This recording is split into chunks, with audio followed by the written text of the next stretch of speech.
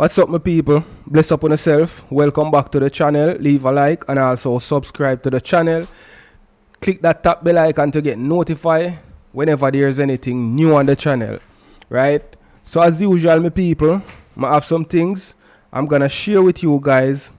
So, me just gonna get right in the first thing that I'm gonna share with you guys. Right? Man killing Mount Salem 48 hours after curfew ended. GUN men SHOT and killed a 34 year old man in Mount Salem, St. James this morning, just 48 hours after curfew ended. Mount Salem remains under a zone of special operations, which brings increased police and military presence and social service providers. This morning, shootings occurred at approximately 9 a.m. The deceased Sanjay Rankin from a Crawford Street address was reportedly transporting sand in a wheelbarrow near his home when he was SHOT. He was employed to a popular restaurant and entertainment center in Montego Bay. Le at least three residents have been SHOT over the last three weeks, forcing the police to restrict movements in the community. Jaja. So, some war on in a one place named Salt Spring in a St. James and one next place named we name um something that ill, right? And this so the two little youth them get killed and the man last night.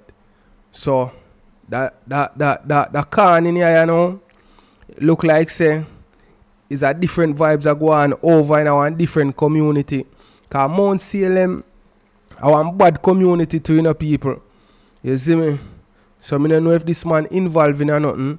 Or them man yeah, community and community in a war. A man just see a man and call him up. So leave your comment in the comment section, people. Police pursuing strong leads in St. James triple murder. Commissioner of Police Major General Anthony Anderson says there are strong leads pointing to the identity of the perpetrators in Monday's triple MURDER in St. James. He was speaking at a press briefing at the Salt Spring Primary and Infant School this afternoon. He, however, would not expound on the information. The MURDER continues to be at the center of much debate locally and in the diaspora as families mourn the DEATH of two schoolboys aged 7 and 9 who were among the victims. The boys who were students at the Chetwood um, Memorial Primary School in Montego Bay were on their way home from school when the taxi they were traveling in was attacked. A man by the name of Tevin Romano was the other victim. We will continue to, to deploy persons in the various places, Anderson said. Jano, I hope them find whoever responsible for them two school picnic can up and drop out. So me I say, so them I say, it look like say the man we get can up and drop out, he was the target. But through the school youth them in at the vehicle, you know what I mean, them become victim of casualties. You see it? So RIP to them and condolences to the families. Jano. Search underway for a missing British man in Ballards Valley, St. Elizabeth. So the person when I talk about people, in picture up on the thumbnail, seeing a him them a search for. A search and rescue operation is underway on Tuesday to locate a 60 year old British man who police say got lost during a nature walk in the Ballards Valley area near Junction, St. Elizabeth on Sunday. The man, said to be a diabetic, arrived on the island on Friday and was reportedly staying with his brother. The senior citizen reportedly told relatives that he was going for a nature walk. Our news team understand that he last communicated with relatives about 1 p.m. on Monday to say he got lost. All subsequent efforts to contact him have reportedly failed. Head of the St. Elizabeth Police Acting Superintendent Coleridge Minto said citizens of Ballards Valley, the Jamaica Defence Force Air Wing and the K9 Division are assisting in the search. We have always gone through miles of terrain and the search is still ongoing. As we continue our efforts to locate this individual, Minto said. Why people? You see them foreigner a more while. No for them too adventurous some of the time, you know. You see it. This man, he maybe come from the area, you know, people. But been away from Jamaica for quite some time. So because a long time him know, you know I mean, take a look at walk. I don't know how most of the foreign country them stay. Pure building, no look at nature no did it. You see me? And the hustle and bustling for work and come home, you know, have the time for really relax and, you know what I mean, enjoy your environment and the places them not did it. So enough people will come from in the country area, when them come back, them want to feel that look, that look nature there. You understand? So this man maybe, him know the place, you know, but through a long time him know, make two walk or something, him end up go take good as a wrong road and get lost in the bush and them say him diabetic so you know him can drop down in the bush there too.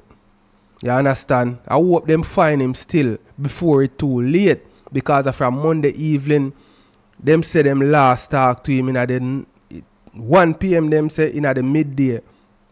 Seeing? I know a Tuesday and in the evening. So I hope them find him or him find him way back out of the bush. You see me I say to all of the people them, the foreigners them man, you careful yeah man, you be careful.